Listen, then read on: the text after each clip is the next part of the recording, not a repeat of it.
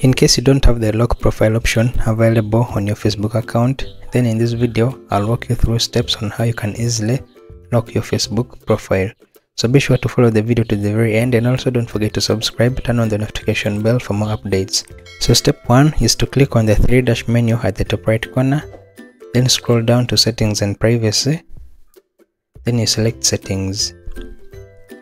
Now under settings you navigate to audience and visibility, then select followers and public content. So from there you ensure that all the default audience is set to friends.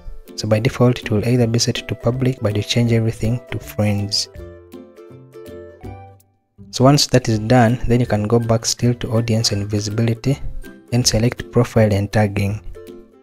So under this also you ensure that everything is set to either friends or only me so you do that for every field that has the default audience set to public. So once that is done then you can go back to your home page. And while on your home page you click on your profile icon.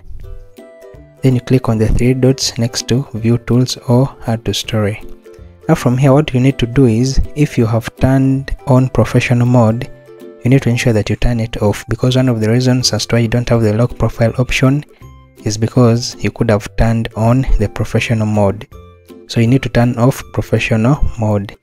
So once that is done then you can go back to your profile refresh. Then you click on the three dots next to edit profile. And from there now in the settings menu you will see the option that has lock profile. Then you click on it. So once you've clicked on it then you will see the lock your profile option. Then you tap on it. And in that way you will be able to lock your profile but in case you still don't have the option enabled even after these settings then you can check these other videos and also don't forget to subscribe for more updates because I'll keep updating you on more tutorials and see you in the next video.